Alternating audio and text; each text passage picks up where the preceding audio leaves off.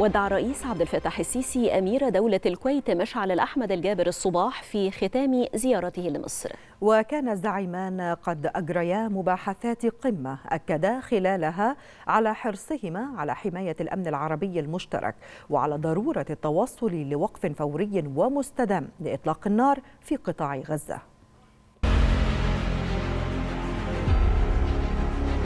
قام السيد الرئيس عبد الفتاح السيسي بتوديع سمو الشيخ مشعل الأحمد الجابر الصباح أمير دولة الكويت